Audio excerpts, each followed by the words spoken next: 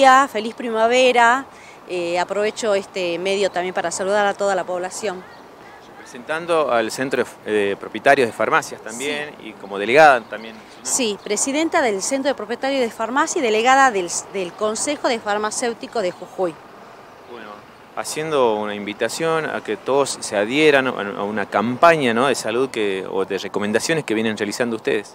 Sí, eh, las tres instituciones, Colegio de Farmacéutico, Consejo y Centro de Propietario de Farmacia, estamos, eh, iniciamos en esta fiesta nacional del estudiante de una manera sencilla, simple, para poder llegar a la población con respecto a eh, capacitar a la gente y enseñarle que el medicamento solamente se adquiere en farmacia.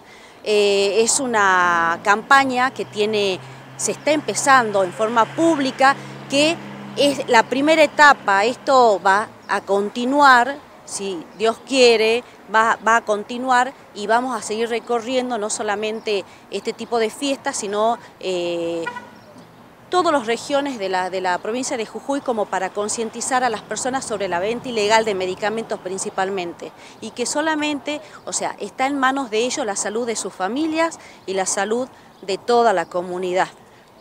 El objetivo es esto de comprar seguro ¿no? en cada farmacia.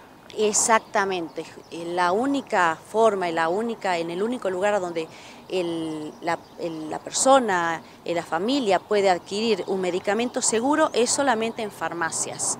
¿Han presentado un stand en la Fiesta Nacional de los Estudiantes? Tenemos un stand desde el día sábado hasta el, hasta el día 20, eh, ingresando por la parte peatonal en la Fiesta Nacional de los Estudiantes 2022 en la cual eh, se reparten volantes, se trabaja, se concientiza, se trabaja con los niños, se trabaja con los adolescentes justamente para que, para que tengan y adquieran toda la información de los peligros que pueden acarrear el adquirir medicamentos que no sean en el lugar justamente adecuado que son las farmacias.